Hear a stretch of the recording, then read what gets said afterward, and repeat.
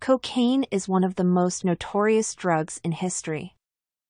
Its powerful effects have been both celebrated and feared throughout the centuries. So, how did cocaine become so popular? Let's take a look at the history of cocaine.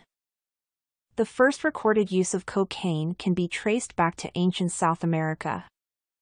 It was used as a spiritual and medicinal aid by the Incas and other indigenous people. They believed it could bring them closer to the gods and heal physical and mental ailments.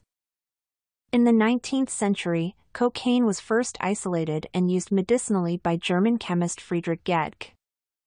He discovered it could be used as an anesthetic and to treat a variety of conditions. Soon, it was being used in tonics and medicines around the world. In the early 20th century, cocaine found its way into popular culture. It was celebrated in books, films, and music. It was seen as a powerful yet glamorous drug that could bring energy and pleasure. In the late 20th century, cocaine use skyrocketed.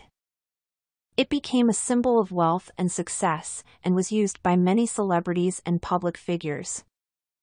But its devastating effects soon became clear and use of the drug began to decline. Today, cocaine is still a powerful and dangerous drug. Its complex history has forever shaped our understanding of the drug and its effects.